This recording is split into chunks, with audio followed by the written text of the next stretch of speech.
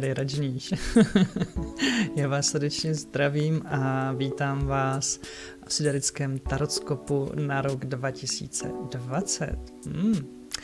A mám tady připravené anděle hvězdného Avalonu a já si tady budu chvilinku míchat a budu se ladit na všechny své odběratele a náhodné chodce. Oh, to jsem řekl, jen jsem to řekl, už mi tady vystřelila karta.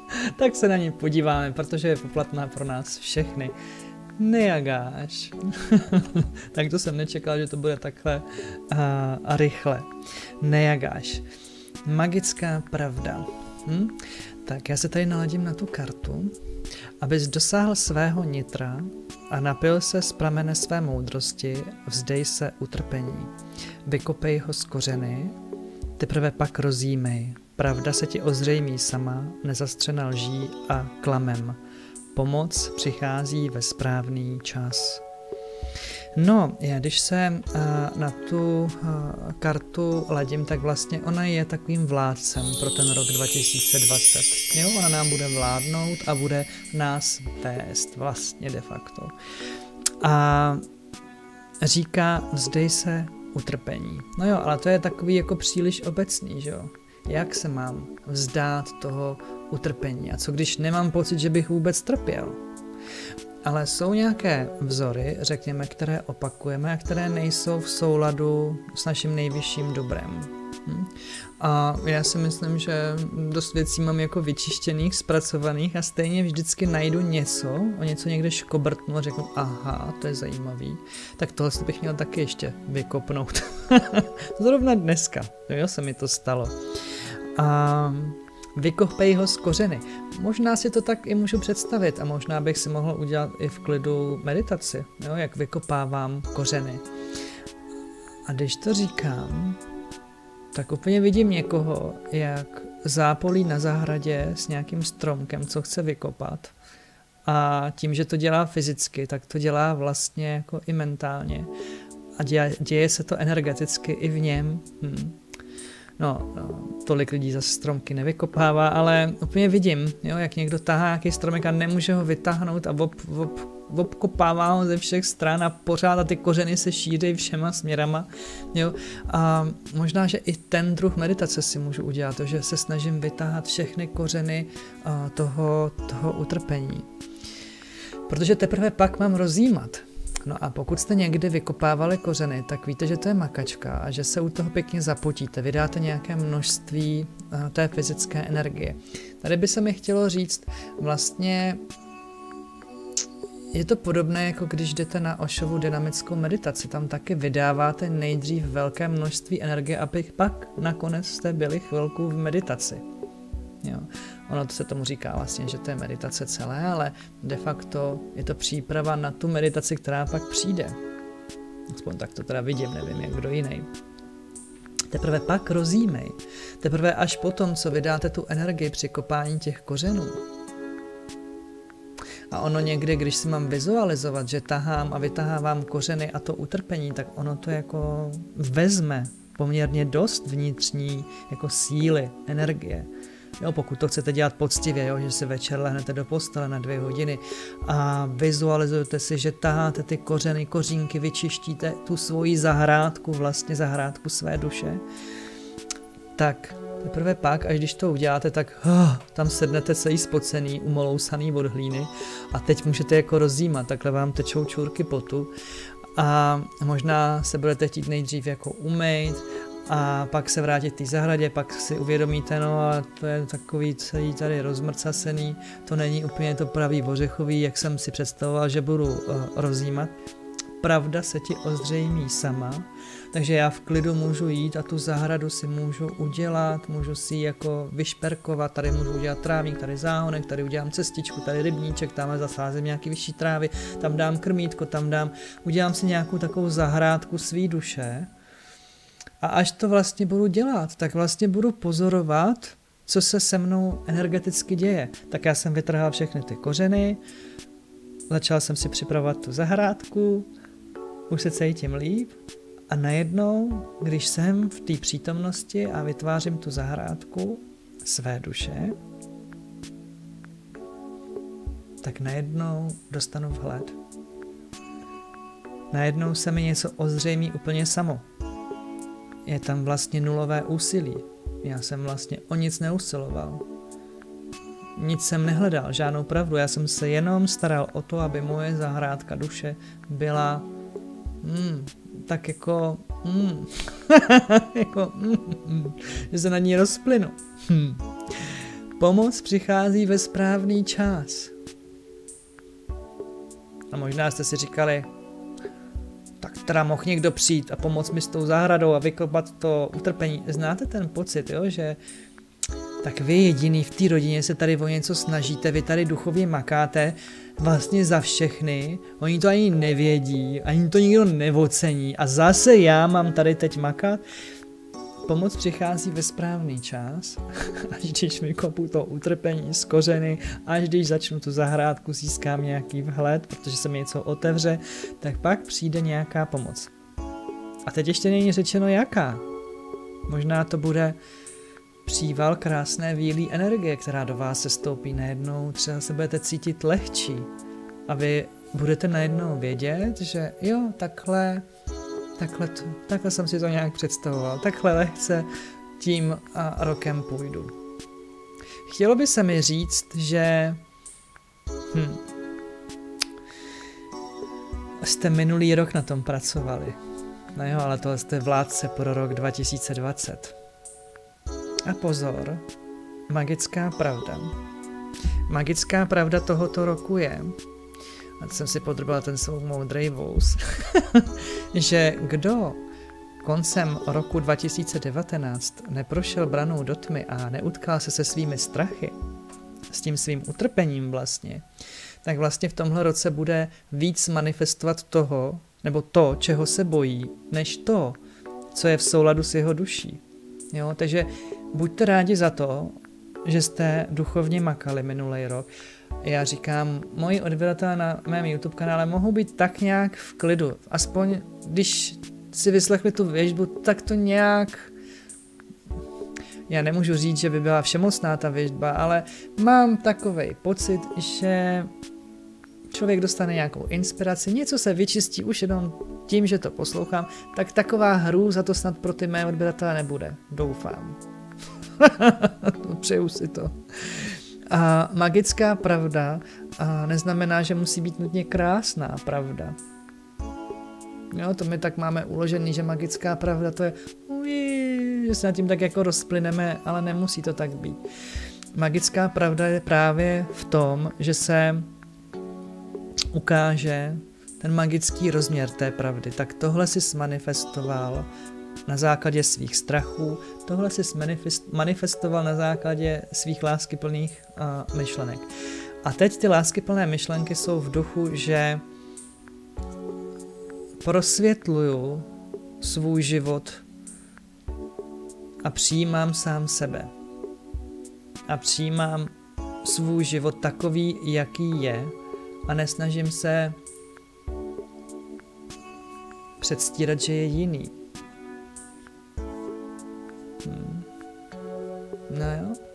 No jo. Takže nejagáš.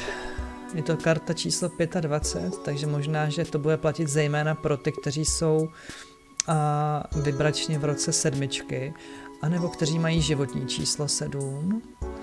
A ještě mi tam chodí, že ti, kteří dovrší 25. rok života, tak pro ty kor to bude jako... A tam mi chodí spíš ten mm, negativní nádech trošku, jo? že tam budou spíš manifestovat ty svý strachy, jako, protože 25 není ještě moc duchovního uvědomění. Mm, prosím vás, to neříkám, že nemůže být 25-letý člověk duchovně uvědomělý, jenom mi přijde, že to je ještě z části jako takové nevinné. Ta nevinnost tomu dává určitou ochranu, ale zároveň jako nějakou lekcí projít musíme. Jo? Takže v těch 25 jako kdyby jsme se měli něco a, naučit tak to mi chodí pod tím nejagášem. No a než se pustím do výkladu pro jednotlivá znamení siderického inekválního zvěrokruhu, takže dávejte pozor na ten následující snip, kde se vám odroluje, mm, jaké znamení, jak dlouhé je inekvální, protože každé znamení je jinak dlouhé, například pana je extrémně dlouhá a to znamená vlastně, jak dlouho slunce zůstává skutečně v tom znamení. Hm? Je to jiné oproti tradiční astrologii. Nikomu nezakazuju, aby se na tenhle ten pořad díval podle svého tradičního znamení, jenom hm, ten, kdo mě zřejmě odebírá, si už k tomu došel, že je lepší si to sledovat podle toho, podle té siderické astrologie. Tak asi tak. A pokud by někdo z vás chtěl konzultaci, je možné přijet za mnou do Desné v Jezerských horách na osobní konzultaci. Je také možné využít RP pohotovosti a, nebo e-mailové konzultace a pak na mém webu je mnoho videovýkladů, a, dálkových procesů, online seminářů a ročních školiček jako Rok s Anděli, Rok s Anděli 2, Rok s Tarotem, Rok se špalíčky je tam poměrně dost široká nabídka, takže každý si uh, může vybrat to, co je mu uh, blízké. Je tam i dálková péče, pokud někdo má rád dálkovou péči, dálková zasvěcení. Takže skutečně je tam uh, široká nabídka. Neváhejte se na mě obrátit. Hm? Tak jo, no a už jdeme na to. Připraveni? Hmm.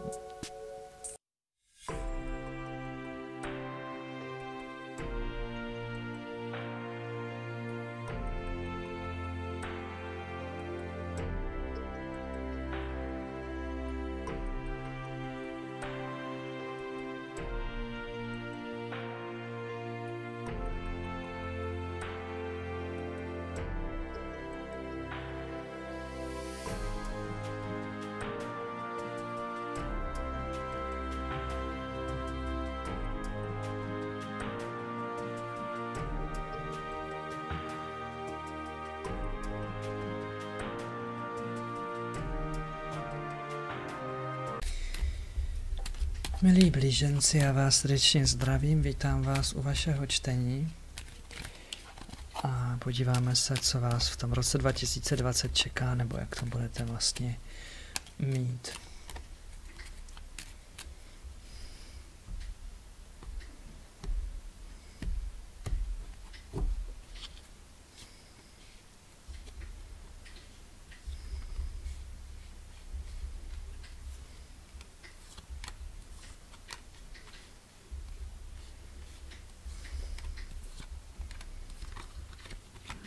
Některé karty jsou dokonce stejné jako na pozicích, jako tomu bylo u bíků, zvlášť tyhle dvě, ale cítím zejména v téhle uh, uh, jako rozdíl. I tahle je na stejné pozici, tuším. Tak, um, dobré to máte v lásce, blíženci. Já myslím, že lásku máte v tom uh, roce požehnanou. Je tam harmonie jakoby v rodině, v přátelských kruzích. Um, je to také požehnání. No, asi by to nechtělo jako zneužívat, jo, toho, že to tak je. A když se dívám, tak energii stejně jako je to taky máte stejný. A to jo, mm, je, že spotřebujete hodně energie na vize, jo, na nějaký vhledy do budoucnosti. A já jsem tady říkal u té karty doslova, já jsem věštec, takže já spotřebuju hodně energie na věštění, jo. což je možná v mém případě dobře, ale u vás, jo, možná zbytečně až moc energie, tak si to tam hlídejte, abyste byli nohama prostě na zemi. Výdělky, Stejně jako u bíků, i tady u vás platí takové volnomyšlenkářství a, a řekněme neotřelé myšlenky, které ale těžké jako dávat do, řekněme, do praxe. A stejně jako si máte iluze i v těch citových záležitostech, co znamená dáváte srdce takhle na dlani někomu a ten druhý hned bere meč a pšt, pšt, do toho seká. Přesně tak, jak jsem to říkal bíkům. A i to tam potom cítíte jako velký podvod. A, takže spokojenost tam je u vás mnohem jako menší potom. A je tam, že se připadáte okradení, zneužití. A také je zajímavé, že mm, změny, které vy tady jako máte, tak jsou spíš jakože eh, zakončovací, jo, že vlastně vy, jakmile tohle to vám někdo udělá, no tak vy ten vztah jako, nebo situaci zakončíte a už jako ani neotevřete vrátka tomu člověku nikdy, jako a bík si z toho uh, udělá jako kuličku a bude si ty druhý jako válet.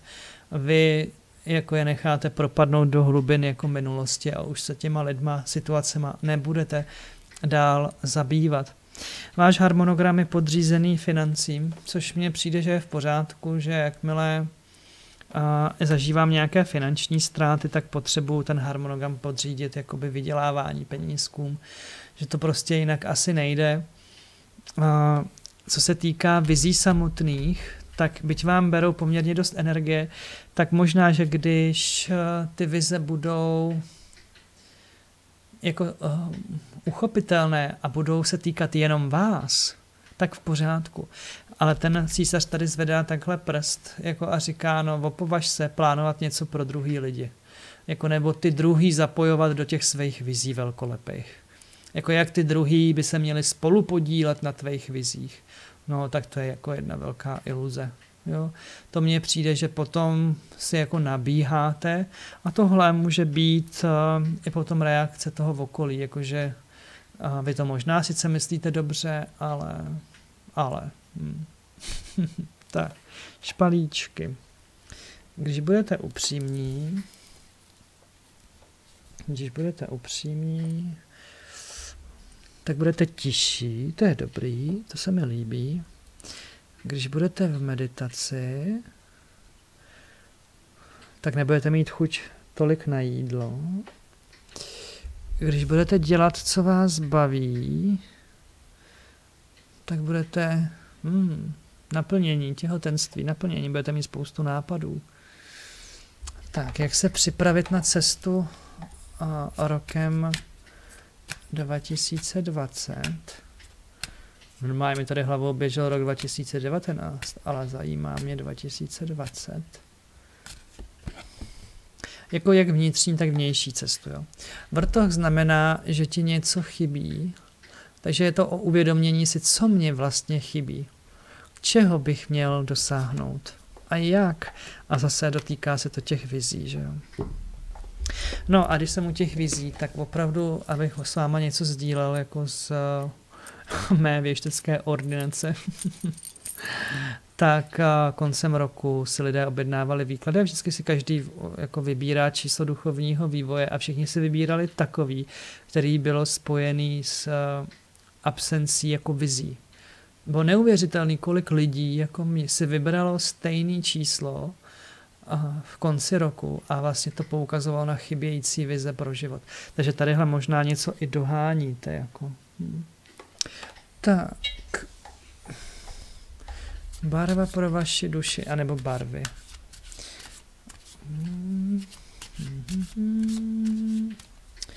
Barvy pro vaši duši.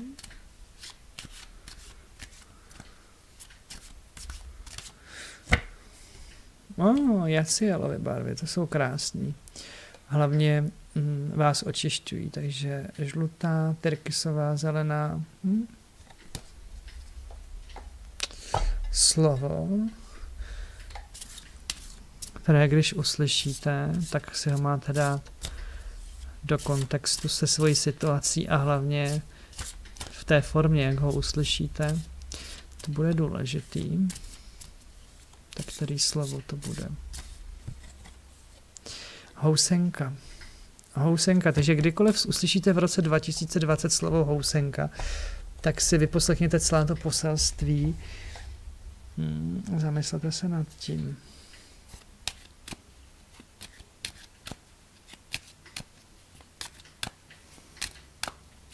Moudrost, kterou objevíte, když vykopete kořeny utrpení. Moudrost. Uzdrav své tělo. Objev svou sílu, najdi svůj směr, pak půjde vše samo. Teď se zdá, že je to jinak. Pracuj více s dětmi. Děti jsou radost. Proč tě to tolik trápí? A tady to jsou také dvě karty pro děti samozřejmě. Jo? a dítě spojené s výdělky a dítě, o kterém si dělám také nějaké iluze. Takže pracuji více s dětmi, děti jsou radost, takže asi něco porovnat vůči, uh, si, něco si porovnat vůči dětem. Možná, jak je vychovávám, nebo jo, něco v tom smyslu. Hmm. No a to najdi svůj směr, to bych řekl, že je v celku, v celku jasný. Mhm. No, to uzdrav své tělo.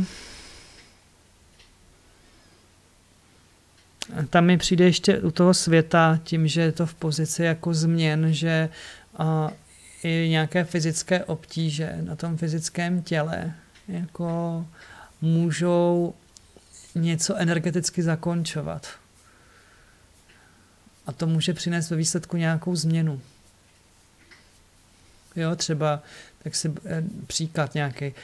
Budete mít v plánu eh, odejít z práce, už budete chtít dát výpověď a najednou si vyvrtnete kotník a budete ležet doma a budete na neschopence. A teprve pak, až když budete po nemoci, tak dáte výpověď nebo tak odejdete. Jo, že to fyzické tělo, jako kdyby mm, vás srovnávalo s vaším harmonogramem. A ten harmonogram je o penězích, takže on má nějaké skryté dary pro vás vlastně. To vaše tělo vám může přinést nějaké finance. Zajímavý poselství. Hmm.